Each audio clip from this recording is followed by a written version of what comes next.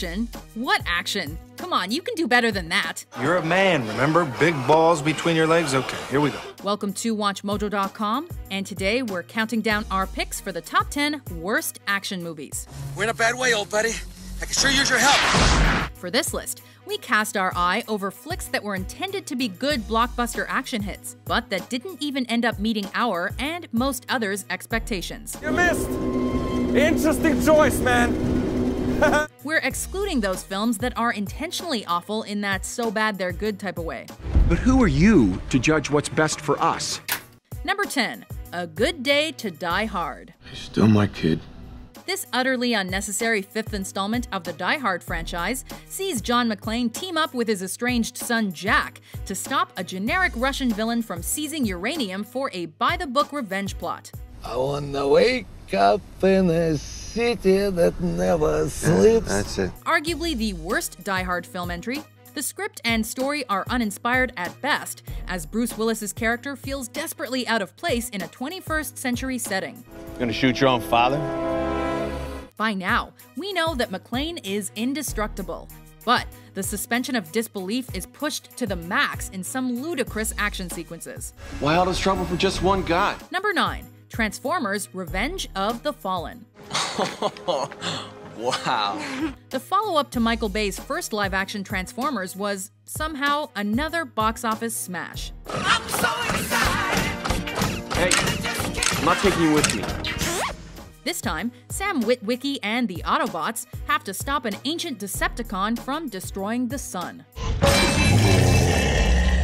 Optimus! With typical Bayisms throughout this two hour plus monstrosity, it's a loud, disorienting mess riddled with offensive stereotypes and no human elements whatsoever. He got so eight. Whoa! Who's your daddy now, huh? It's almost all CGI, and it began to set the tone for the equally gratuitous movies that followed. Why audiences keep flocking to see this franchise remains an enduring mystery. Because this, this is over. Number 8. Bangkok Dangerous. Purpose of your visit to Bangkok, Mr. Vincent? Holiday. A remake of a far superior Thai film from 1999. This crime thriller sees Nick Cage playing a contract killer who betrays his own set of morals by beginning to care for a couple of locals he comes in contact with. The police know who you are. No one knows who I am. Cage isn't as brilliantly unhinged in this one. Instead, he and the rest of the cast turn in wooden performances in a woefully slow paced film, Whatever happens in Bangkok stays in Bangkok. which is completely in contrast to what the action flick's title might have led you to expect from the critical and box office bomb. Number 7. Triple X State of the Union. The new Triple X has got to be more dangerous, deadlier, more attitude. More attitude?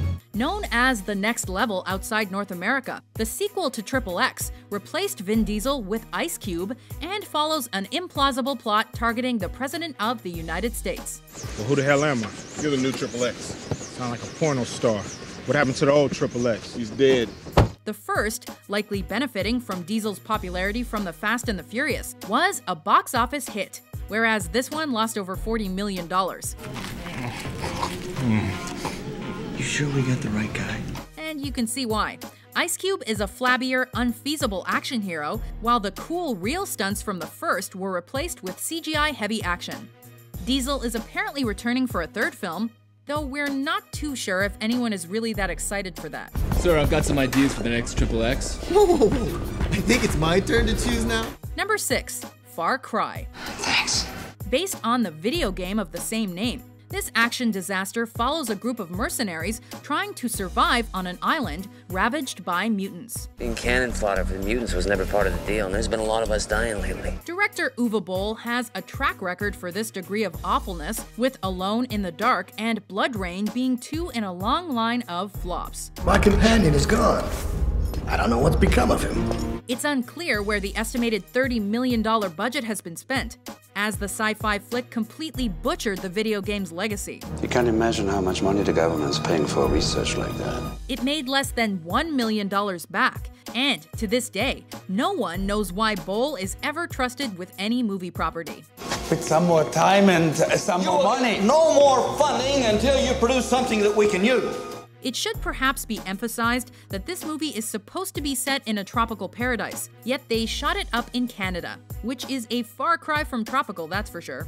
Anything that takes place outside on this island is a security matter that concerns me. Number 5. Abduction. My parents were just murdered, and I think the people who did it are after me too. Taylor Lautner plays an 18 year old who finds out his past is not what he previously believed it to be and he soon becomes an unlikely target for Serbian terrorists. I know veteran agents who couldn't have handled what you've been through in the past 24 hours. Not knowing what sort of film it wants to be, Abduction gets caught in a limbo between a Bourne style thriller and a tween Twilight esque action movie. If you stay where you are, you're dead for sure. Lautner is pretty terrible himself, but the script does nothing to help him. It's funny. Perhaps only fans of the lead will find any enjoyment from this predictable action thriller that brings absolutely nothing new to the genre.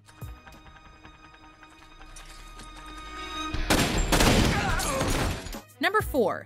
Batman and Robin. Hey, Freeze. The heat is on.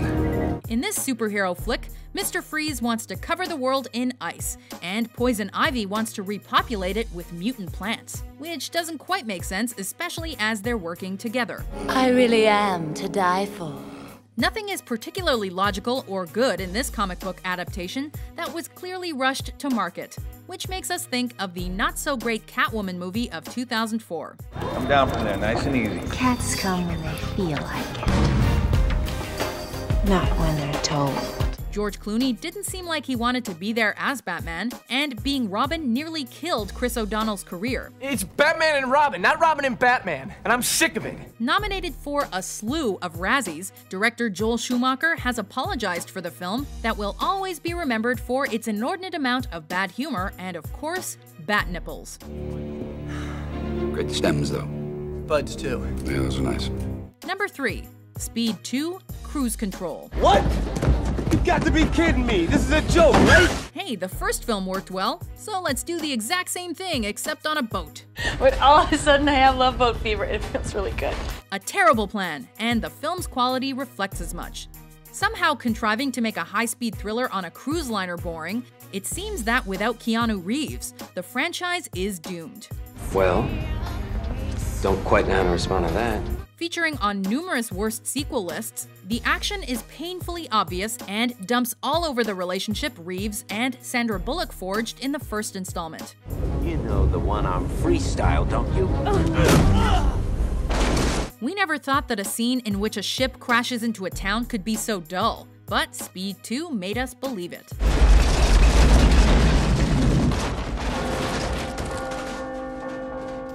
Number 2. Ultraviolet. Okay. Let's start simple. Featuring the hardest leading name to remember in film, this action sci fi flick follows Violet Song Jat Shariff as she fights to protect those infected with a disease that causes vampire like symptoms from a government intent on wiping them out. Seal the building. Any other phages inside, I want them hunted down and killed. Violet Song Jat Shariff.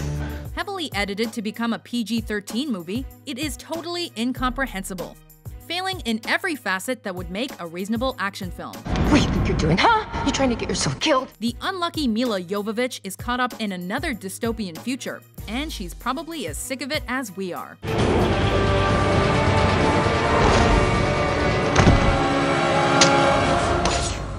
Before our top pick angers critics around the world, here are a few dishonorable mentions. You think this is a joke? Because if you think it's a joke, I'll stick you right back into the cells where I found you.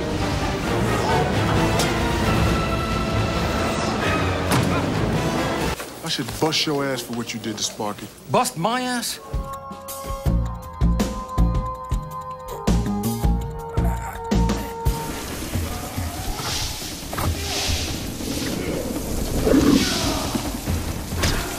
Number one, Ballistic Ecks versus Sever.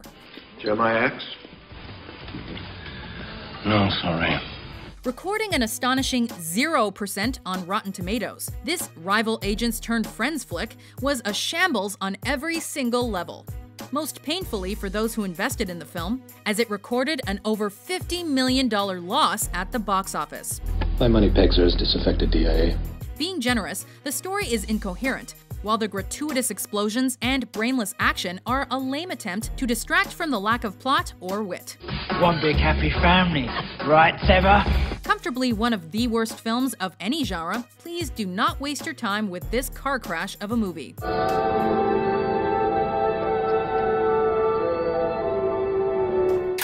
Do you agree with our list? You're never gonna trust me. What action movie can you not stand to sit through? Do you understand anything I'm saying to you? For more entertaining top 10s published every day, be sure to subscribe to WatchMojo.com. Yeah, we're done. We're done. We should just go home.